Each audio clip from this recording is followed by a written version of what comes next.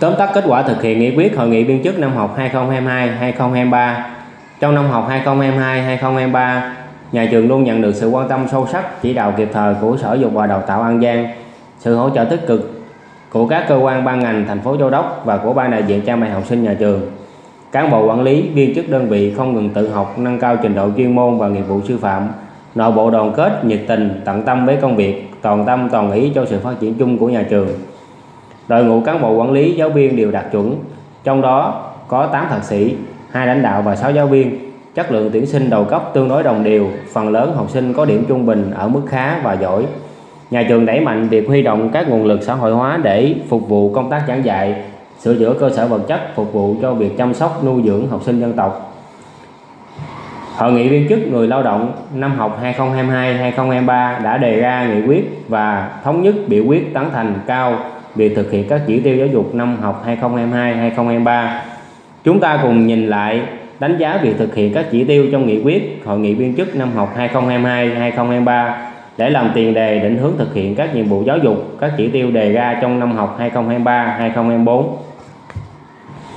Về xếp loại học lực, trong năm học 2022-2023, tỷ lệ học sinh xếp loại học lực khá giỏi trên 93,2%, đều vượt so với nghị quyết đề ra.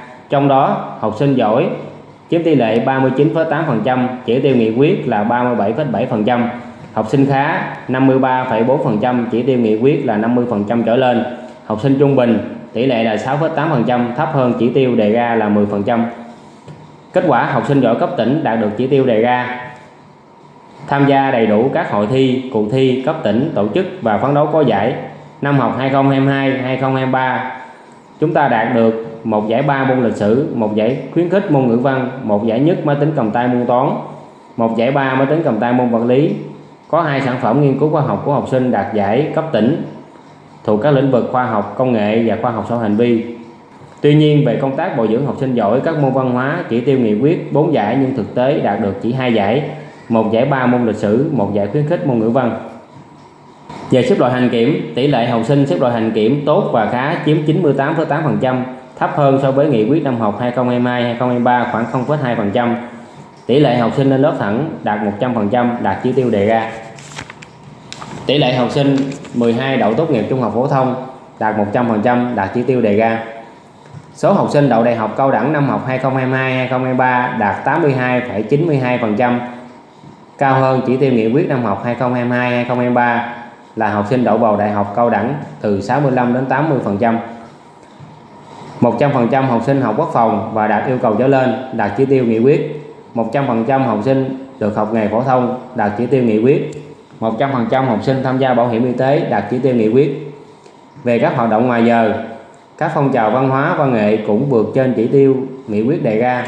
Trong năm học 2022-2023, học sinh trường đạt nhiều thành tích nổi trội trong các hoạt động phong trào văn hóa, văn nghệ, thể dục, thể thao. Tham gia đầy đủ các giải thể thao cấp thành phố, cấp tỉnh, đạt được các giải cao tại các hội thi, hội diễn.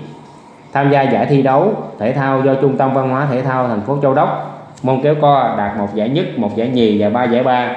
Tham gia hoạt động chạy Olympic vì sức khỏe toàn dân năm 2023 do thành phố Châu Đốc tổ chức đạt 5 giải nhất và 5 giải ba. Tham gia hội thao cán bộ đoàn do thành đoàn tổ chức đạt một giải nhất môn kéo co. Tham gia giải bóng truyền nông dân mở rộng do Trung tâm Văn hóa Thể thao Châu Đốc tổ chức đạt một giải ba. Tham gia ngày hội văn hóa, thể thao, du lịch đồng bào Khmer tại huyện Tịnh Biên. Đạt 3 giải, trong đó có một giải chương trình nhận diện xuất sắc. Một giải ba hòa tấu, ngũ âm ở hội thi ca múa nhạc cấp tỉnh năm học 2022-2023 về các chỉ tiêu thi đua của giáo viên 100% giáo viên đạt chuẩn và trên chuẩn đạt chỉ tiêu đề ra. 100% giáo viên chấp hành tốt chủ trương đường lối của đảng, chính sách pháp luật của nhà nước, không vi phạm đạo đức nhà giáo, đạt chỉ tiêu đề ra. 100% viên chức được đánh giá theo nghị định 90 từ hoàn thành nhiệm vụ trở lên, trong đó hoàn thành tốt nhiệm vụ là 90% đạt chỉ tiêu đề ra. 100% giáo viên thực hiện tốt quy chế chuyên môn, thực hiện đổi mới giáo dục theo yêu cầu chương trình giáo dục phổ thông 2018 tham gia các lớp bồi dưỡng học sinh giỏi, học sinh yếu khi được phân công, tham gia tốt quản lý giáo dục học sinh, nội trú, đạt chỉ tiêu đề ra. 100% giáo viên thực hiện có chất lượng việc tự học tự bồi dưỡng về lý luận chuyên môn nghiệp vụ đạt chỉ tiêu đề ra 100% cán bộ giáo viên nhân viên và học sinh tham gia các cuộc vận động và các phong trào thi đua của ngành, thực hiện chỉ thị số 05 của Bộ Chính trị về đẩy mạnh cuộc vận động học tập và làm theo tư tưởng đạo đức phong cách Hồ Chí Minh, phong trào thi đua dạy tốt học tốt, xây dựng trường học thân thiện, học sinh tích cực, đạt chỉ tiêu đề ra. Tuy nhiên, nhà trường chưa hoàn thành công tác kiểm định chất lượng giáo dục, xây dựng trường đạt chuẩn quốc gia ở mức độ 2 vào cuối năm học như nghị quyết đề ra.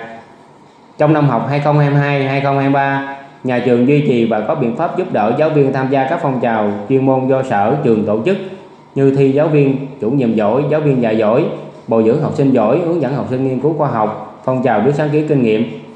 Mỗi tổ bộ môn tổ chức ít nhất một hoạt động ngoại khóa hoặc trải nghiệm sáng tạo. Mỗi tổ chuyên môn ít nhất hai sản phẩm về sáng kiến kinh nghiệm hoặc nghiên cứu khoa học sư phạm ứng dụng hoặc hướng dẫn học sinh nghiên cứu khoa học kỹ thuật hoặc giáo viên dạy giỏi hoặc giáo viên chủ nhiệm giỏi. Kết quả có 14 giáo viên đạt giáo viên dạy giỏi cấp trường, có hai sản phẩm hướng dẫn học sinh nghiên cứu khoa học đạt giải ba cấp tỉnh, có 17 sáng kiến cấp trường, có 6 sáng kiến cải tiến đạt cấp sở do Hội đồng xét duyệt sáng kiến của Sở Dục và Đào tạo An Giang công nhận, gồm 5 sáng kiến kinh nghiệm và một nghiên cứu học sinh ứng dụng. Tham gia cuộc thi thiết kế thiết bị dạy học tự làm và bài giảng điện tử năm học 2022-2023 đạt giải B môn thể dục. Về thi đua cá nhân, lao động tiên tiến đạt 53 người, chiếm tỷ lệ là 94,6%, cao hơn chỉ tiêu nghị quyết là trên 85% đạt danh hiệu lao động tiên tiến. Chiến sĩ thi đua cơ sở 4 người đạt chỉ tiêu đề ra, bằng khen Ủy ban nhân tỉnh, bằng khen Bộ Giáo dục và Đào tạo chưa đạt so với chỉ tiêu đề ra. Nghị quyết là một bằng khen Ủy ban dân tỉnh, một bằng khen Bộ dục và Đào tạo. Về thi đua tập thể, đảng bộ hoàn thành xuất tốt nhiệm vụ chưa đạt chỉ tiêu đề ra.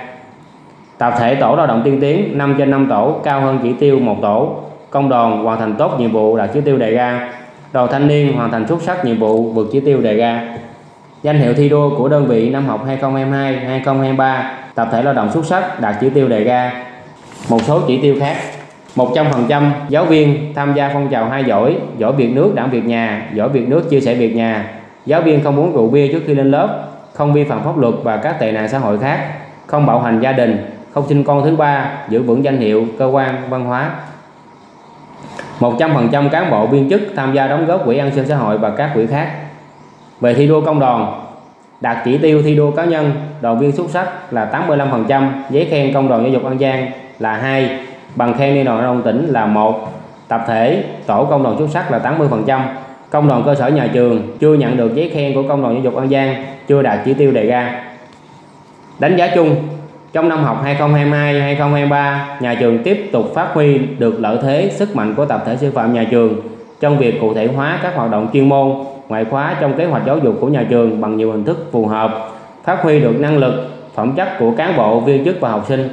Nội bộ nhà trường đoàn kết, dân chủ cơ sở được phát huy một cách tích cực, kỷ luật nhà trường nghiêm minh, kích thích được lòng nhiệt tình và sự say mê trong công tác của giáo viên. Nề nếp kỷ cương nhà trường ngày càng ổn định, thực hiện tốt quy chế dân chủ cơ sở, phân công, phân nhiệm rõ ràng, công khai minh bạch, đảm bảo được chế độ chính sách cho viên chức, tạo sự đồng thuận cao trong tập thể nhà trường trong việc thực hiện kế hoạch giáo dục năm học 2022-2023.